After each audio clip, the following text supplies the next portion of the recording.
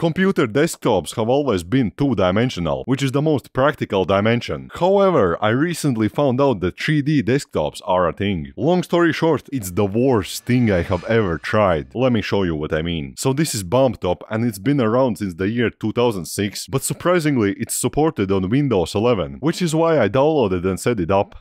Once you've opened it, your desktop by default transforms into this 3D box. I will go ahead and skip the tutorial as tutorials are for losers. Okay, now how do I use this?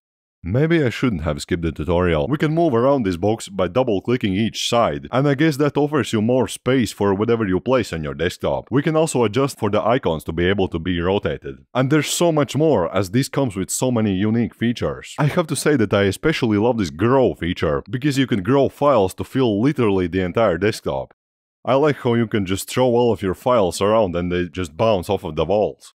Wait, what the hell? What is it even hanging on to? We can enter this close-up view where we can see that the icons themselves are 3D, which is pretty cool. Also, when you add new icons to the desktop, they just flop from the sky. But I have to be honest with you, this current theme is getting kinda old, so I want to change that. So we can choose from 4 different preset themes. Each of them looks pretty good, and you can even set your desktop wallpaper as floor for your desktop. If you wanted to get more themes, you can press this get more themes button. However, this project is so old that I guess it doesn't even work anymore. You can even tell it's old since it uses the old Twitter icon. To organize our desktop better, we, first of all, have the option for grid, which is what we are all used to. However, there is also something called pile. What it does is puts all of your selected items in one pile. You can then quickly leave through the pile, although it's not quick at all. Let's just break our pile. Actually, you know what? I think I need more text documents on my desktop. Hmm, I think we're still a bit short. Now that's what I'm talking about. Holy shit, our 3D desktop is super laggy right now. I think they need to optimize this program a bit more.